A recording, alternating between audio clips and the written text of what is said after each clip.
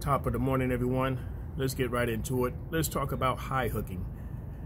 There were a few people that actually emailed me regarding high hooking, and there were a couple that actually uh, said something on the uh, YouTube channel regarding high hooking. Um, unfortunately, they got some false information, so let's clear that up right now. And uh, I'm not trying to bash anyone, so I'm just going to tell you what high hooking is. Okay, let's go over the components. Right there, that's the kingpin okay? Over here is your fifth wheel. Now, when you high hook, there's a gap in between the apron, which is this, and the fifth wheel, which is that, okay? So this is pretty much the view you will receive when you're backing up. And like I said in the previous video, if you don't know, if you're not used to seeing this, it's very easy for you to overshoot the fifth wheel. It's very easy for you to high hook. A lot of people are mistaking high hooking for overshooting the fifth wheel. However, you can get a high hook if the trailer is too high and the tractor is too low. And you can also do a over, you can overshoot the uh, fifth wheel as well. So let's go ahead and back up. Okay, now I'm hooked right? Okay, so let's put it in drive here. Today I had this automatic.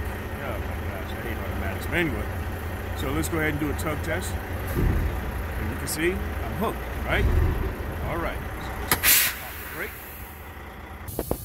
And as you can see there, there's a gap in between the fifth wheel and the trailer apron.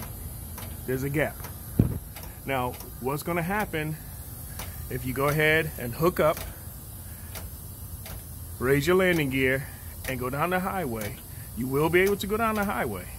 But what's going to happen as soon as you get on uneven ground, make a turn, whatever the case may be, you're going to lose your trailer.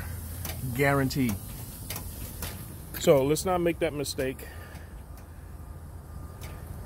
High hooking is not overshooting a fifth wheel. I did a video on overshooting the fifth wheel that's when your kingpin is on this side of the fifth wheel. That's not high hooking. This is high hooking. Now, how do you get out of a high hook? Very simple, very easy. Being that your landing gear is already down, what you want to do, this truck happened to have a um, auto release. Just come in, and you heard it click, release the locking jaws from around the kingpin, once you have it in gear, simply pull away.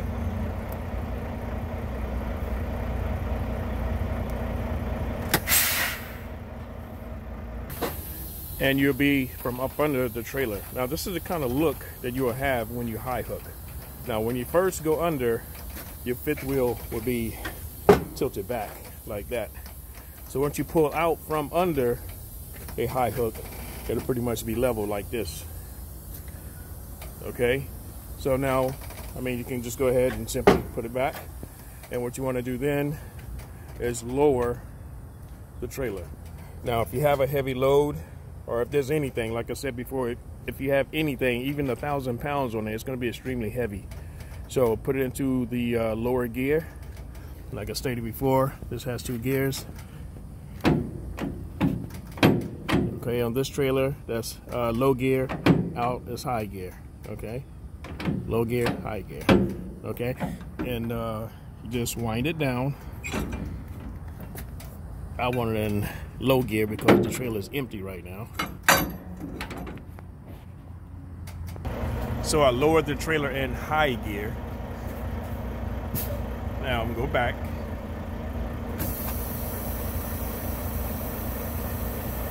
I'm already lined up because I was just up under it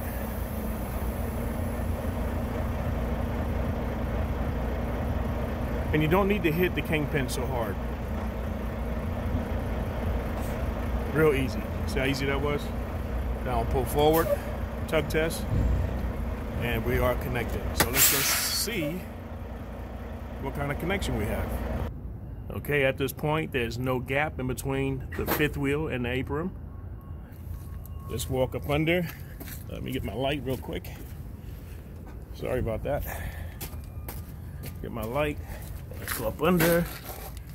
And you see the locking jaws is around the kingpin.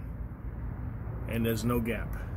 Now you might see a little bit of gap at the back end of the fifth wheel because that it angles down.